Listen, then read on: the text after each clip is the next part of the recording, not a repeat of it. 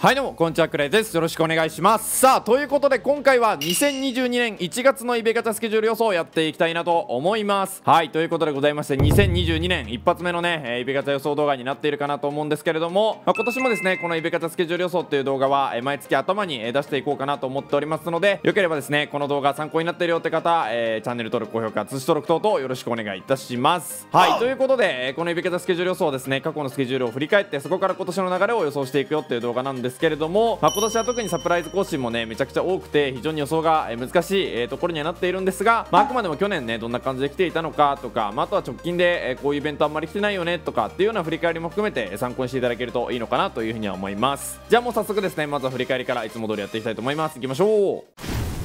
はいということでまずは昨年の1月のガチャスケジュール、えー振り返りでございます。はい、えーまずは1月の4日まで OB 第3弾ガチャですね。まあ今年から始めたよって方からするとねちょっと流れがなかなか読めないかなと思うんですけど今までは外国人 OB、OB1 段、2段、3段、4段、5段の5段構成だったので、えー正月年末年始はね OB 第3弾が来て、えーランキングイベントっていうね形になってました。で1月4日にそのガチャが終わりまして自チーム OB 狙い撃ちスカウトここが第3弾の狙い撃ちが来ていてあとはバリュースカウトもね、えー来ていたという形でございました。で、えー1月の4日から超自チーム狙い撃ちスカウトでレフトの追加、まあ、ここに関しては今年はもうすでに野手9ポジション、えに関しては全て出ているので、まあ、どうなんだろう。でもまあポジションのその野手とかが入ってくる兼ね合いもあるのでレギュラーポジション全部埋まってるのは今年の方が早かったかなという感じなんですけど、まあ、去年はここでねレギュラーポジションが全て埋まるという形になってました。で1月の10日からバトスタコラボガチャですね。はい今年は名前が変わって超プロ野球ウルトラというね番組名に変わってますけれども、まあ、今までの、えーバトルスタジアムの、えーコラボガチャという形になってました。で13日からグレードアップスカウトで先発の中継ぎのダブル追加ですね。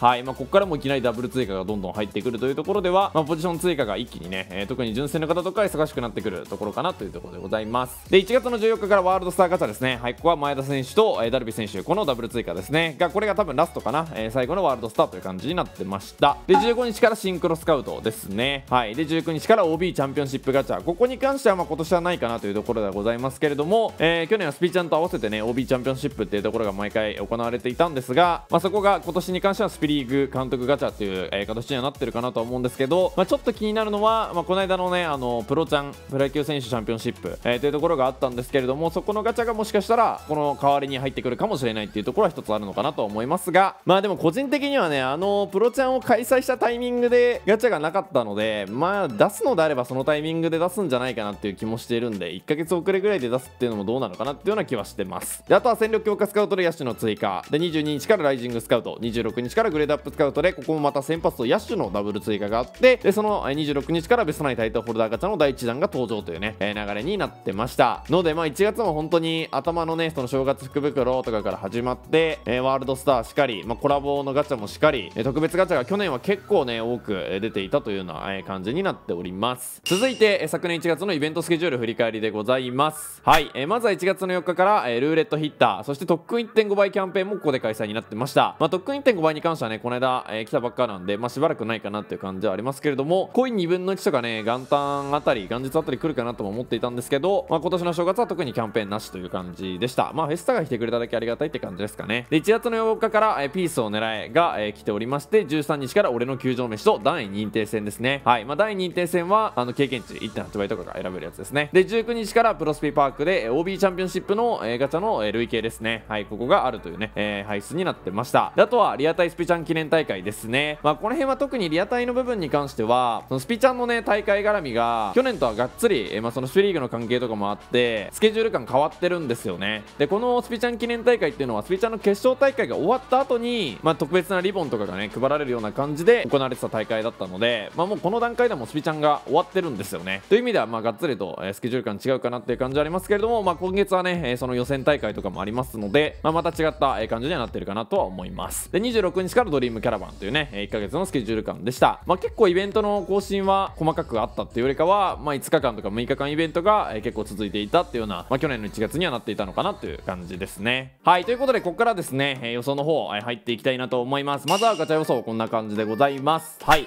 1月の8日まで田中将大セレクションそして2022ハッピーニューイヤー福袋さらには自チーム OB 狙い撃ちスカウトもというところなので、えー今年はかなり、えー年始のスケジュール感が緩めなイメージですね。去年はもう1月の4日に最初の更更新が来ていたっていう感じでありましたけれどもまあ普段の OB に比べてねこのセレクションの OB っていうところは10日間開催にねなるのが、ベースにありますので、まあ、そういう意味でちょっと長くなっているというところでございます。で1月の8日から、戦力強化スカウトで中継ぎの追加と予想しております。結構直近野手が続いているので、まあ、おそらく、ピッチャー特に中継ぎはまだ1選手ぐらいしか出てないのかな？1選手か2選手ぐらいしか多分出てないと思うので、まあ、中継ぎが最優先で出てくるのかなというような印象はあります。で1月の9日から超プロ野球ウルトラコラボガチャこれはまあ番組の本営日が1月の9日というところでほぼ確定なんじゃないかなと思っております。で、まあ、登場選手に関しては、まあ、もうね選手のプレイ動画とかも出てますので、まあ、そこで、えほぼ確定という感じになっております。で1月の12日からグレードアップスカウトで先発ダッシュのダブル追加。で13日からワールドスターガチャで前田健太選手秋山選手有原選手この3選手が残っているんですがおそらく一気にね出てくるんじゃないかなと思っております。で17日からベストナイタイトルホルダーガチャ第1弾。えここはですねかなり、え早めなスケジュール感に去年よりなっているかなと思うんですけどなんでこのタイミングに入れてるかっていうと、まあ、この後イベントの予予想の中にも出てきますが純正の最強決定戦ですね。はいここが、え17日から、え開始というところなんで、まあ、そのタイミングに合わせてね出てくるんじゃないかなと思っております。でちょっと期間空いて27日から OB 第4弾ガチャという感じにはしているんですが、まあ、17日から27日の間にももしかしたらポジション追加とか、えー、入ってくる可能性もあるかなと思ってるんですけどまあなかなか純正最強決定戦がちる方にとっては特にワールドスターもある球団の方とかだとねまあ結構しんどいんじゃないかなというような1ヶ月の予想でございます。まあ結構詰め込んだスケジュール予想にはなってるかなと思うんですけど、どまあ、逆に言うとワールドスターガチャに関してもベストナイタイトルホルダー1弾を出しちゃった後にワールドスターが出たとしてもなかなかちょっとうんまあそれで誰が取りに行くのってまあ純正の方とかは取りに行くかもしれないですけどそれでも最強決定戦が終わった後とかだとまあ取りに行く必要ないよねとかっていう形にもなっちゃったりもするのでまあそういう意味ではもう純正最強決定戦前にもう詰め込めるものは全部詰め込んでくるんじゃないかなっていうような、予想を個人的にはしております。で続いて今年のイベントスケジュール予想ですね。はいこんな感じでございます。まずは1月の4日までプロスピフェスタとエージェント S ですね。はいこちらがダブル開催されております。特にまあエージェント S に関しては明日まで、えー、累計終わらせないとマークセレクションのね S ランク取れませんので、ぜひまだね終わらせてない方は終わらせましょう。で1月の4日からスペシャルミッション。1月7日からプロスピ妖怪道。で12日からプロスピパーク。17日から最強決定戦。まあここはほぼ確ですね。はいもうお知らせ出てますので確定かなと思います。で18日からルーレットヒッター。で21日からスターロード。で27日からターニングポイントで OB 第4弾とスピちゃんのオンライン予選ですね。はい、えこちらを予想しております。まイベントの予想に関してはまあ毎月ではありますけれどもその直近で来てないものを優先的にこう入れていってるっていうところであるんですけど、まあ、この動画を撮影している時点でまだ15時を迎えてないのでスペシャルミッションとか、まあ、もしかしたらお知らせが、ま出てないかもしれませんけれども、まあ、どこでどのイベントが来るかっていうよりかは、まあ、この辺のイベントが、え今月は来る可能性が高いんだなっていうふうに思っていただけるといいかなというふうには思います。あとはね OB 第4弾のランキングイベントっていうところを、まあ、ボーナスありにするかなしにするかをすごい迷ったんですけど、まあ、ちょっと例年とはもう、え、概念ががっつりと変わっていてそもそもの奇数弾偶数弾っていう考え方じゃなくてもう3弾でもうボーナスなしの、えー、60年確定っていうガチャになってましたので、まあ、4弾次は、まあ、ボーナスありの確定なし60連確定なしっていうような、えー、ガチャになってくるんじゃないかなと思ってます。まあそれかもうもしくはボーナスありの OB がもうここから先出ないっていう可能性も全然なくはないかなと思ってるんですけどまあ一応、えー、周期的にはこういった予想にさせてもらいました。あとはスピーチャンのオンライン予選はもう27日から、えー、確定ですね、まあ、ここは公式のサイトとかにも出てますので、まあ、逆に言うと結構ねね期間空いちゃってますけれどももうここまではリアタイの大会はないかなというのが、個人的な予想でございます。はいということで以上ですね。1月のイベントガチャ予想そして振り返りっていうところをやっていったんですけれども最後に総括ですね、まあ、1月の立ち回りについてどうとうお話をしていこうかなと思うんですけれどもやっぱり今月の最注目ポイントっていうところはベストナインタイトルホルダーになるかなと思います。というのもやっぱりスピリッツがね100上がりますし、まあ、タイトルをね取った選手が、出ますので、えー、ラインナップ的にもやっぱり豪華になるというところでございます。でまあさっきも言いましたけれども最強決定戦もあるので、まあ、そこに合わせてかなりいろいろ更新は詰め込んでくるんじゃないかなっていう予想がありますけれどもじゃあそのベストナイタイトルホルダー回すかどうかっていうところに関してはやっぱり現役選手だけが出ますので、まあ、マー君セレクションとかダルサンセレクションとか、まあ、あとは他の OB とかに比べたらやっぱり限界突破っていう部分はしやすいかなとは思うんですけれども、まあ、結構タイトルね初獲得みたいな選手とか、まあ、別にタイトルホルダー初登場っていう選手も多いので、まあ、ここは所持状況次第とかまたはオーダーの補強ポイント次第にはなってくるのかなっていうような、印象は持っております。ので、まあ、ぜひねまだ見てない方は別にタイトルホルダー、えー、登場選手確定の動画2本出してますので、えー、よかったら見ていただいて、まあ、そこを回すかどうか考えていただければと思うんですけれども、まあ、あくまでもやっぱり現段階でエナジーがないよっていう方、まあ、マー君セレクション回したよっていう方とかねに関しては、えー、ための1ヶ月になるかなと思います。ベストナイタイトホルダーもねやっぱり、まあ、最低でも30連、まあ、でもあとは累計とかミキサーってところまで考えると、まあ、90連とか、まあ、最悪のね引きを考えても90連して累計を集めておけば、まあ、プラスあと1枚どっかしらで出せればね、まあ、その時点でミキサーができて絶対に欲しい選手はね1人確保できたりとかっていうような感じにはななりますので、まあ、やっぱりエナジーがねあるに越したことはないかなと思います。そしてまグランドオープンとか、え、その先に向けても、え、そろそろ貯めていかないといけない時期にも入ってきますので、まあ、無課金でね最高率を求めて、えー、特に、ま、マークセレクション回したよとか、まあ、ダルさんセレクション回したエナジーがないよっていう方は、まあ、ための1ヶ月にねなるのかなというような、え、イメージでございます。